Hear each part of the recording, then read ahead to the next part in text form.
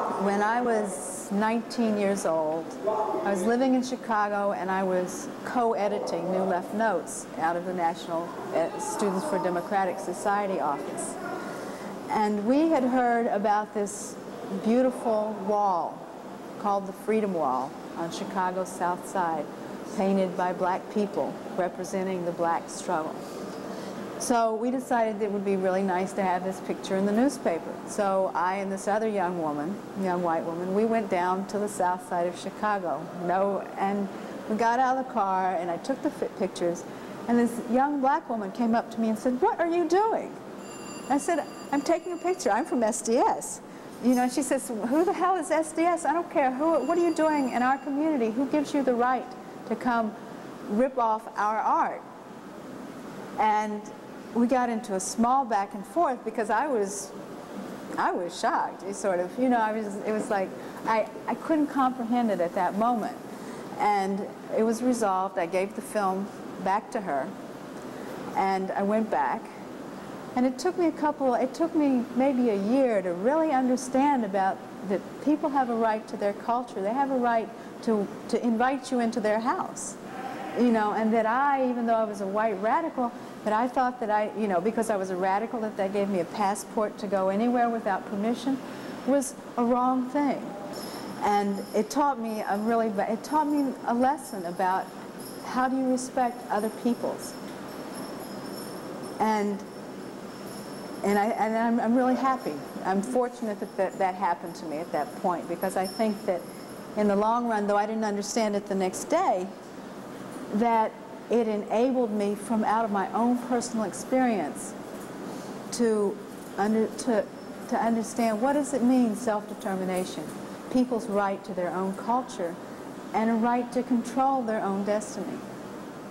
If you believe in human rights, then you have to believe, then I believe in the liberation of all peoples and people's right to their own nations, the right to their culture, to their land, to their resources. I do not believe that women can be liberated unless, they, unless societies are liberated, until there are different social structures, until the means of, the, of production are controlled by the people who do the producing.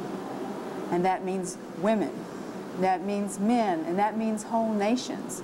And therefore, I feel as a woman, my liberation is tied to the liberation of, of all the women in the world and all oppressed people and exploited peoples in the world. I think revolution and freedom is about li giving life to our creativity and our spirit as human beings, regardless of race or nationality. And I don't think that it can't, it cannot grow when one is in an oppressor situation or an oppressed situation. Um, but on the other hand, as a revolutionary, I want to be part of a process which creates the basis for all people to live well. I don't think revolution is about trying to make everyone equally poor. I think it's about making everyone able to, to have the kind of comforts of society, to be able to be fulfilled in their work, and to be able to see the, the fruits of their labor. Well, I became, I came of age in a period of revolution when armed struggle was being successfully employed by the Vietnamese, that revolution was in Latin America. Che Guevara was struggling in Bolivia along with, with many other people whose names we know and we don't know, men and women.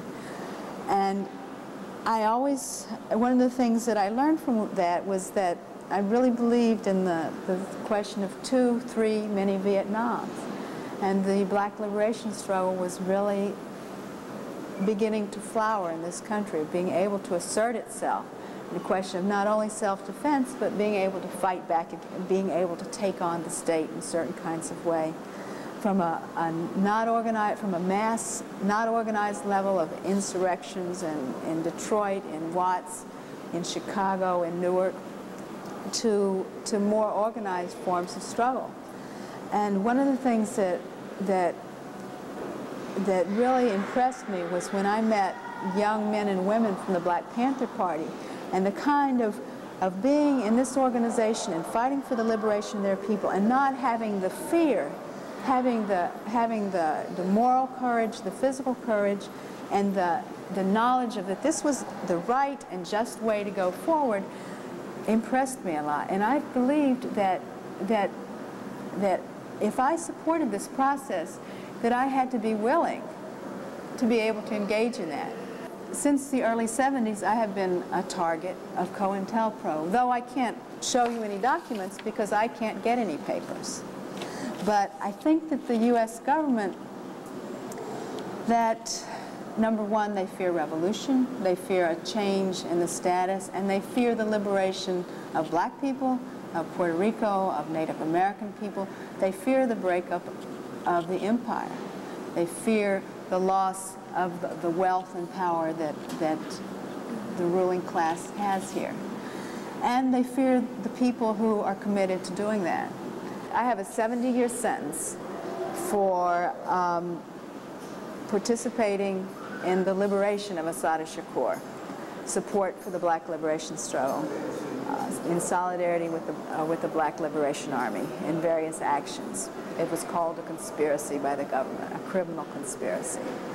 And I think because I was a white person who has been committed since 1968 perhaps, until now, and that no matter what they have done to me, the years in prison, the years in isolation, that I have not renounced that. I have never recanted that. Assata represents the strength and the spirit of the liberation of black people's struggle for liberation in this country.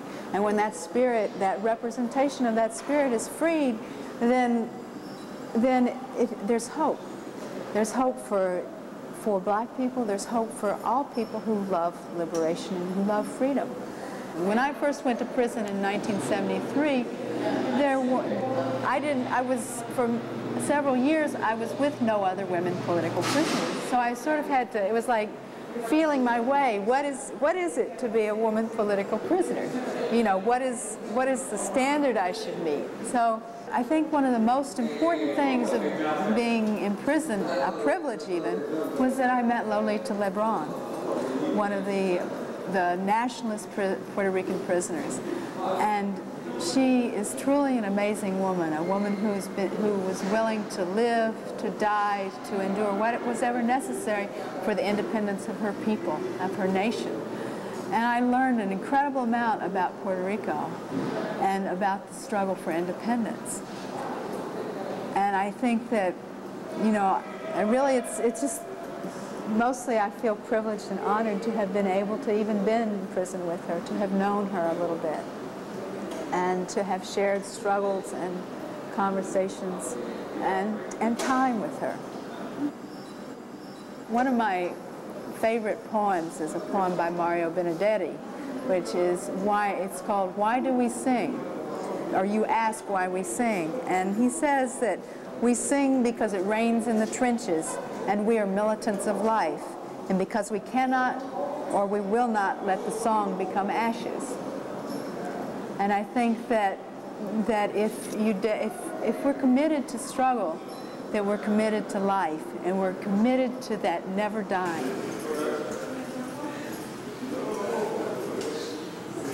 I believe in living. I believe in birth. I believe in the sweat of love and the fire of truth. And I believe that a lost ship steered by tired, seasick sailors can still be guided home to port.